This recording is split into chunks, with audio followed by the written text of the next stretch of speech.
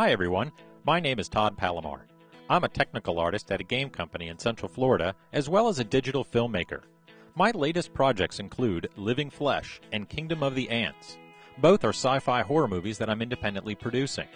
In this course, we're going to learn how to flood a city street.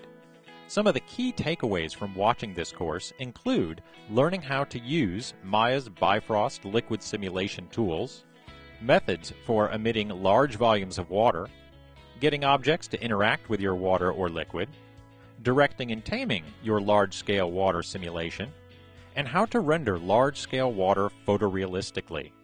By the end of the training, you will have learned how to control Bifrost liquids to create large-scale water simulations. I'm excited to work with digital tutors and to share these techniques with you. Sign in or sign up and let's get started.